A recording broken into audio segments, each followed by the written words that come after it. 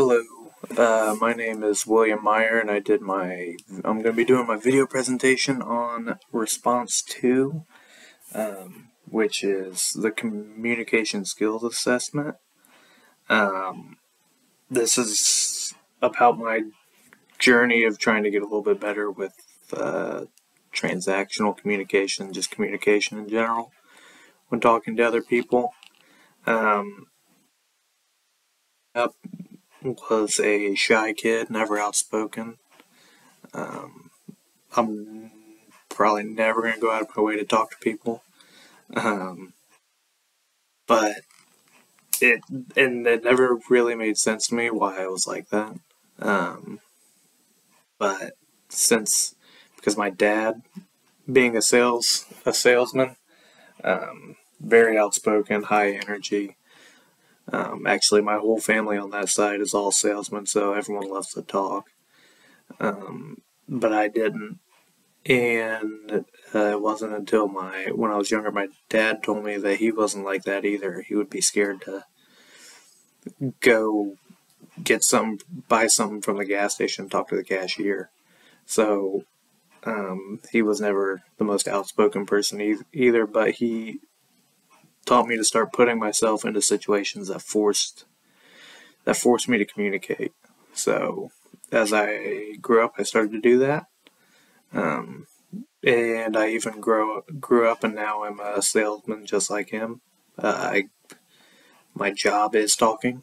Uh, my communication skills are not are not the best, but they're growing every day, and uh, because I have to rely on them every single day if I want paycheck.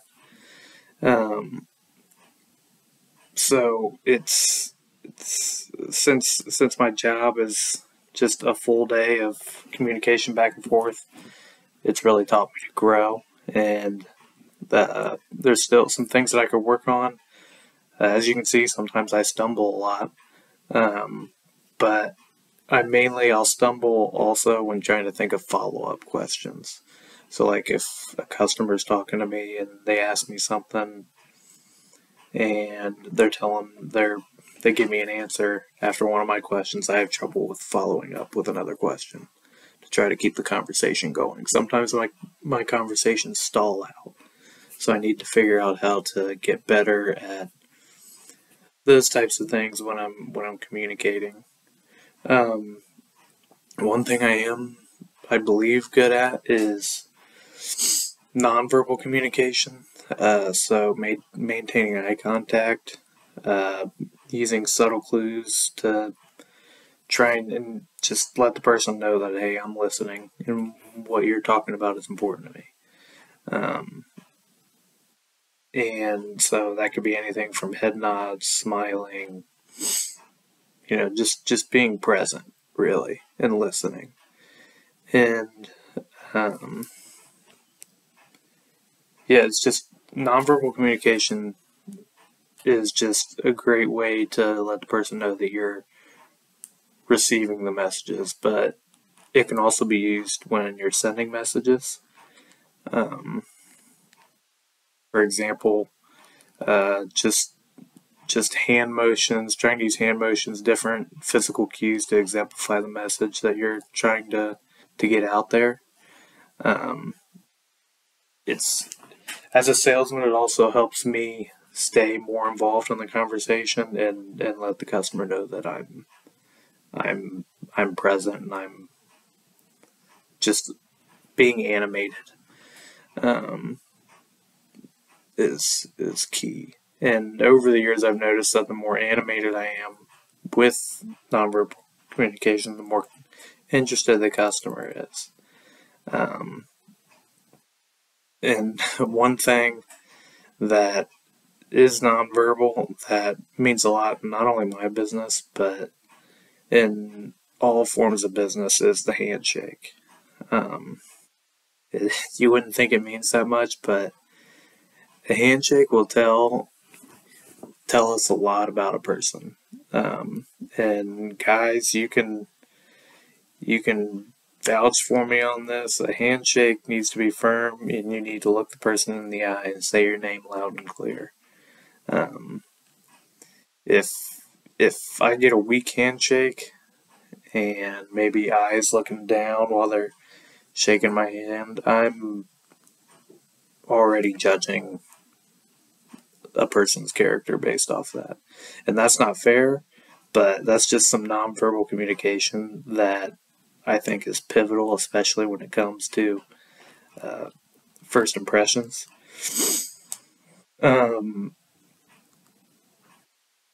yeah, so one weakness I'm starting to try to get better, especially outside of work.